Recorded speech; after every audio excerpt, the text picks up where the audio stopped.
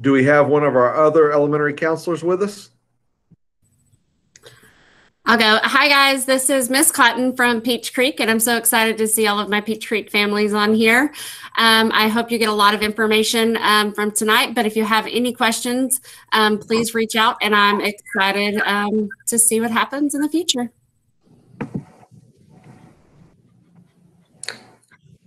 And this is Miss Porter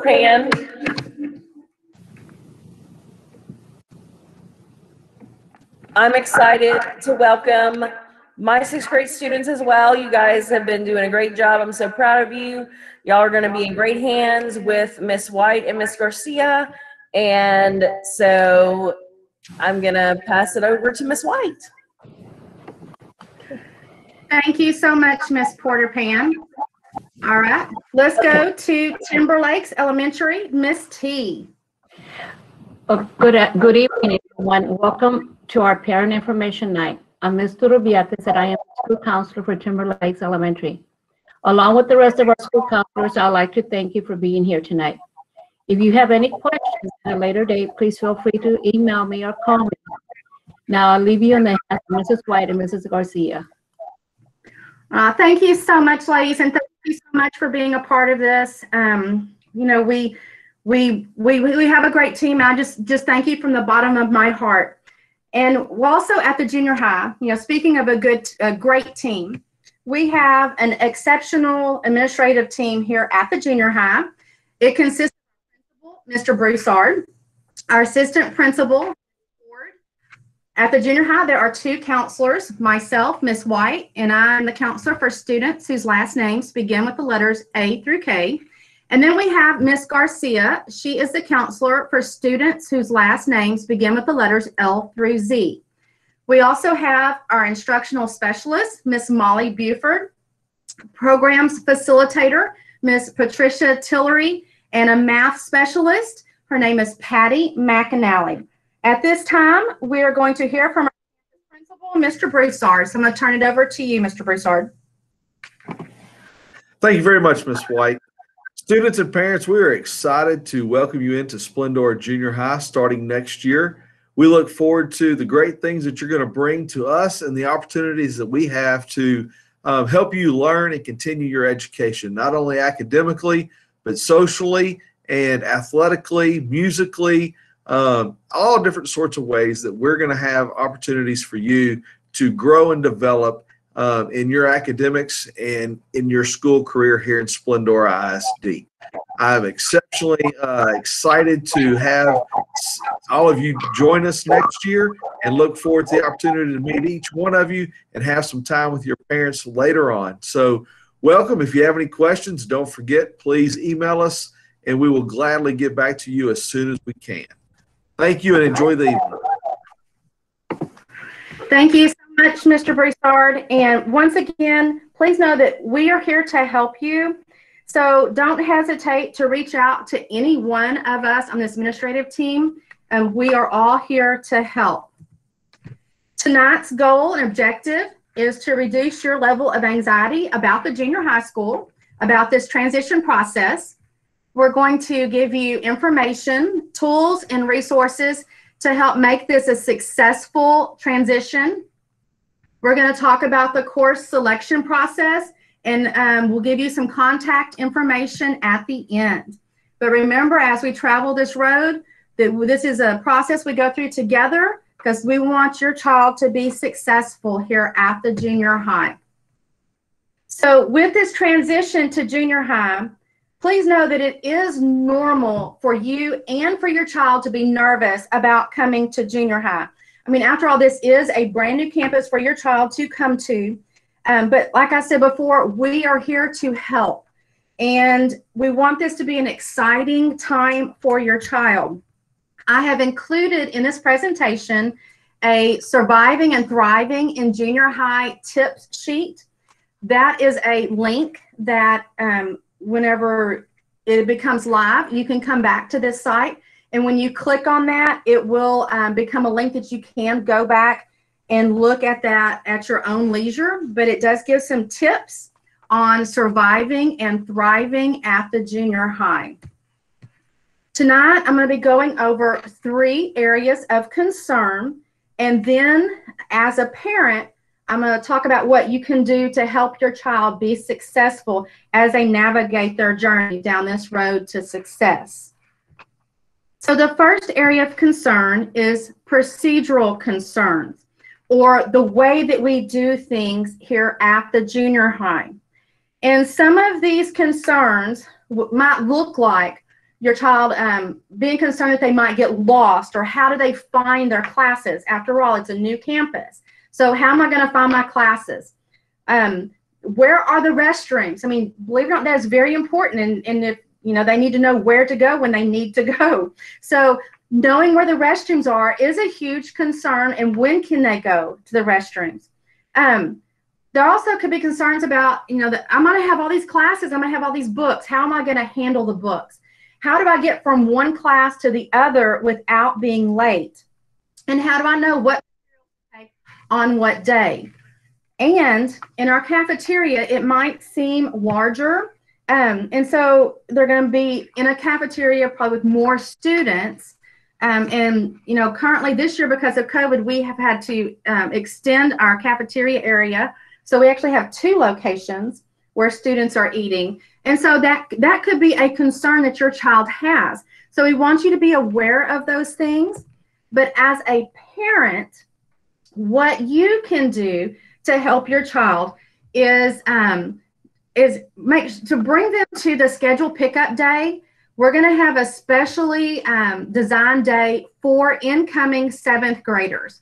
Um, think of it as an orientation day for for incoming seventh graders. They're going to get their schedule. They're going to um, tour the campus. They're going to get to practice their schedule.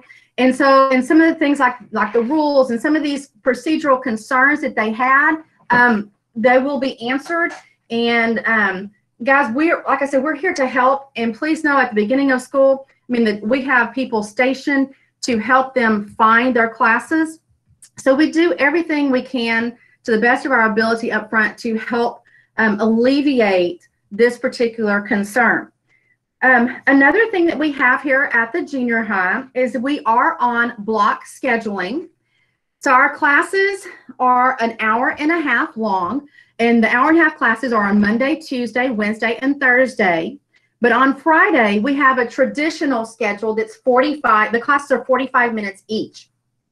So on Monday and Wednesday, those will be our odd number classes. So on their schedule, it would be their first, third, fifth, and seventh period. Then on Tuesday and Thursdays, that would be the even number classes. So they would go to their second, fourth, sixth, and eighth period classes. But then on Friday, they it's a, like I said, it's a traditional schedule. They would go one through eight.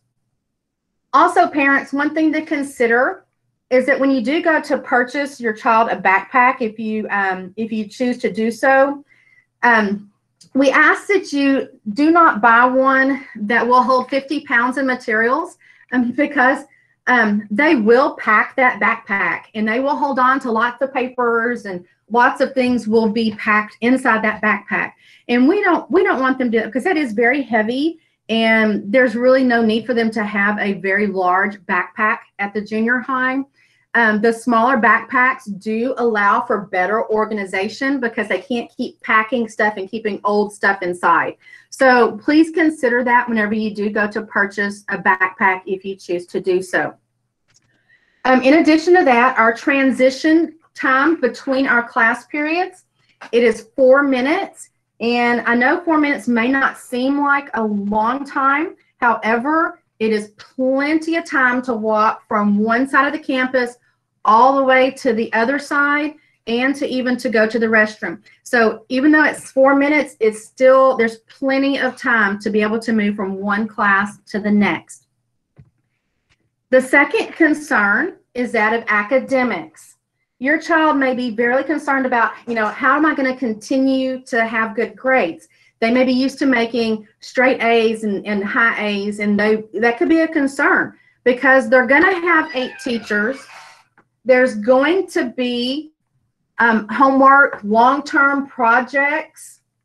Um, it may be uh, that, that the teachers, you know, with eight teachers, there may be um, the expectations are going to be different. So, I mean, so just be aware that these are some concerns, and this may be the first time that your child might actually get a B. So, students are concerned about the academics. As a parent, what you can do is we want you to be the example. Show the importance of education to them. Um, ask them about their day. Ask questions, you know, like what they learned. Um, ask more specific questions, not just general. Like if you say, you know, did you have a good day? I mean, they're going to say yes. So be more specific. Like, what did you learn today in English? Um, what homework do you have? What, you know, how did that test go that you took? So ask them more specific questions. Did you meet anybody today? Um, just be more specific, and that will show that you are taking an, a, more of an investment in their education and what they're um, learning about. Set aside some quiet space and time for your child to study and to do their homework. We want them to be actively involved and engaged in um, extracurricular activities. We want them to have that playtime, but make sure to try to help them help them balance that school and the playtime. And it helps if they have a quiet place, a designated area where they can go and do their homework. Um, set high but reachable expectations for your child. Encourage them. Encourage them to do their best. Like I said, this is might be the first time that your child may be um, having facing some more difficult with um, academics because of the more advanced classes. But please just encourage them to do their best and check their grades in Skyward. And teach them how to check their grades in Skyward. It's an important learning time for them. And if they become used to going and checking the grades themselves, that will help them become more responsible. And please know that we do have tutorials available at the junior high. Um, there will be a schedule posted. And um, just know that we do have tutor tutorials before school, after school, and then even during our win time um, if there's a uh, something that comes up and a teacher uh, needs to work with a student, they will schedule time.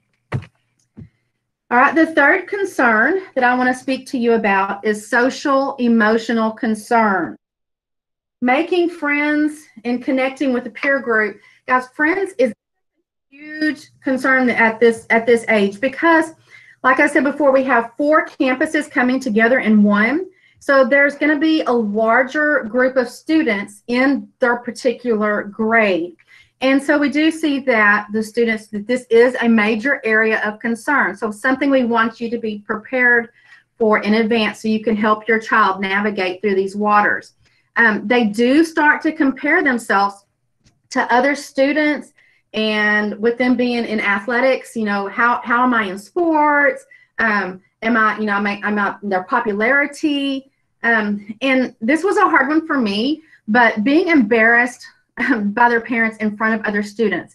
I remember it really, it hurt my, it hurt my heart whenever my child was like, no mom. And, you know, they, you know, kind of like, um, leave me alone. but, but they do at this stage, they do want to um, try to have that independence. So, I mean, if they do express that, just know that this is part of that age.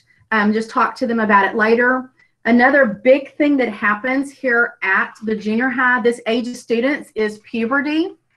Um, their body starts to go through a lot of changes. Um, they'll start to have pimples. They get concerned about dressing out in PE. Um, and then also something that we need you to help partner with us is have those conversations with your with your child about peer pressure. You know, things smoking, vaping, drinking, um, any kind of drugs. I mean, have those have those tough conversations with your child um, and that will help prepare them if they ever do face these issues. But please know that we are here at the junior high to help you if there's anything that we can do. So recognize their fears offer them support tell them tell them that you're there for them reassure that your child but make sure to listen to them. Um, be positive about what lies ahead because they will follow your lead. And if they see that you have a positive outlook on things, then they will they will tend to follow your lead with that and also have a positive outlook. Um, hold your child accountable. Um, they're gonna make mistakes. Um, use those as teachable moments and give them the opportunity to make decisions. At the junior high, we do encourage the students to advocate for themselves because it's important to learn that skill now so that in the future they, they do feel empowered to speak up and allow them, like I said, the freedom to make those mistakes. This is how they learn. And mistakes are proof that they are trying. And correcting the mistakes, that's the proof that they are growing. So just keep that in mind. Use, use those things as teachable moments and just know that, that mistakes are proof that they are trying. So the course selection process, that is a great opportunity for your child to make those decisions with your guidance.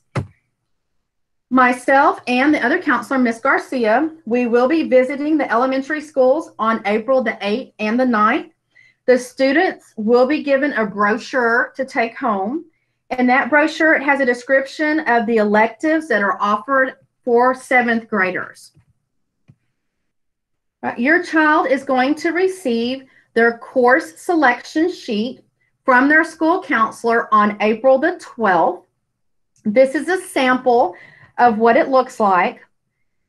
And they have a total, students, like I said before, have a total of eight classes at the junior high for seventh grade, and it is made up of four core classes. There are two required elect two required classes, LeadWorthy in PE or athletics, and then they get two elective classes. Like I said, that's a total of eight.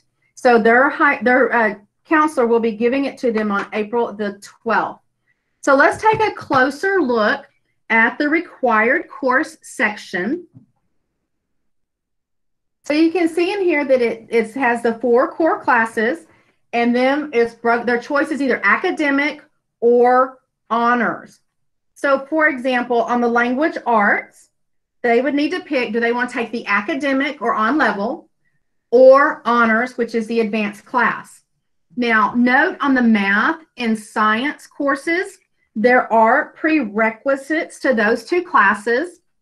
And so with that being said, in math and science, they would have to currently be in the advanced classes this year to take the honors classes in grade seven. So to, to for the mathematics, if they're currently in the advanced or honors math, then they would be eligible to take the honors class in grade seven. All right, and the same thing with seventh grade honors science. Um, language arts and history, there's not a prerequisite to those two classes. Um, so you can pick academic or the honors level. Everyone is required to take our LeadWorthy class. Um, we're excited about that class and it's, it's basically what it says. It teaches them how to be a leader um, and they will be actively involved in different kinds of projects and so forth. And we're excited to have that class on this campus. Um, like I said, this helps teach them how to speak, how to prepare to be a productive citizen. And the other required elective is either athletics or PE, but not both.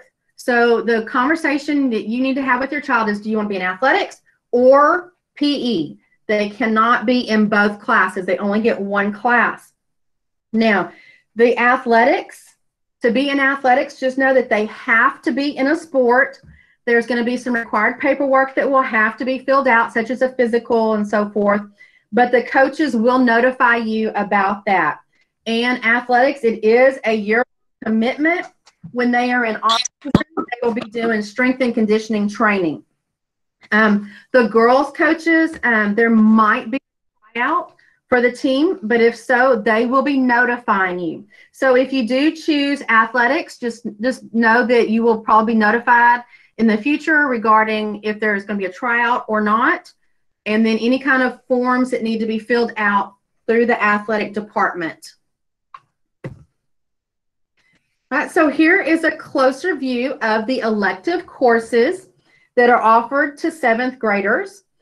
They will have two elective classes that they take at the junior high, but we do ask that they rank the top three choices with number one being the course that they want the most.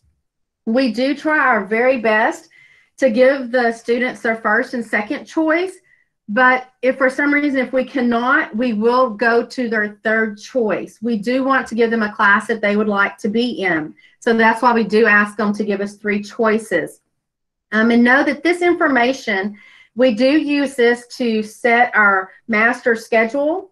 And so with that being said, we want them to choose wisely because they may not be able to change their classes in the um, when the school year starts because based off of cl- uh, classes and the class size.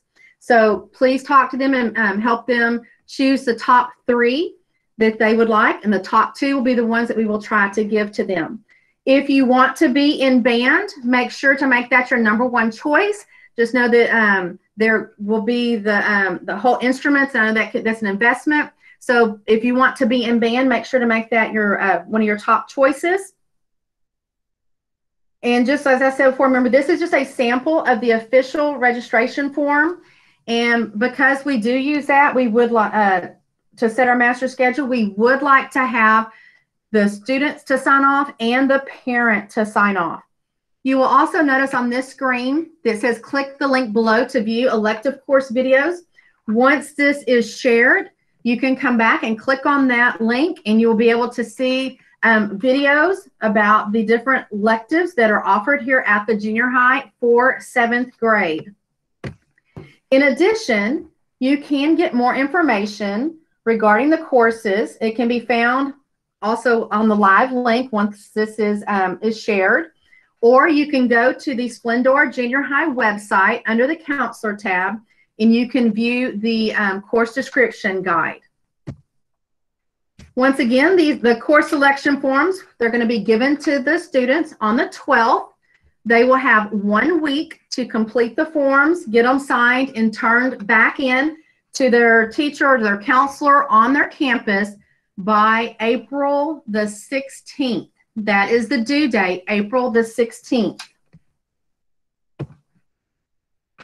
Here is the contact information for myself and also for Miss Garcia.